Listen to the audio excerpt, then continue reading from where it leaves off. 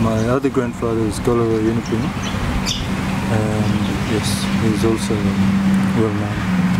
I um, come from community Yirrkala, um, and yeah, lived there, uh,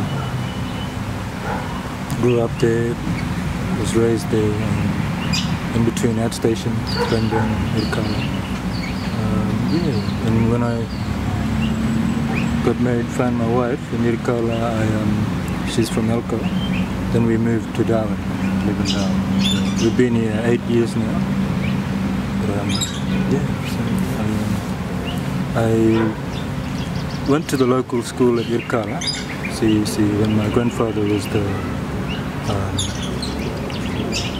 the principal of that school. Uh, it was a good school. I learned a lot of Yolngu, the Yolngu literature, Yolngu education at that school, um, and English, both, which was good for me to learn both worlds, about both worlds, and I learned that um, it was really good for me because I having support from grandfather as a principal. My mother was also the um, one of the teachers. The stepfather also teaching at the school.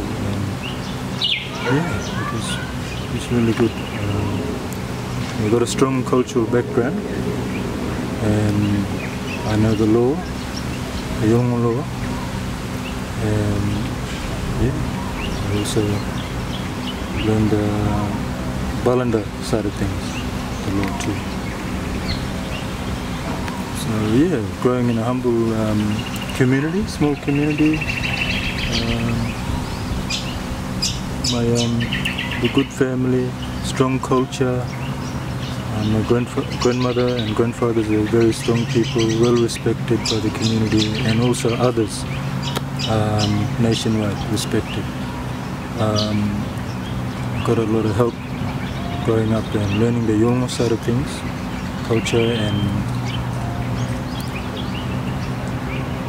also the Balanda side of things.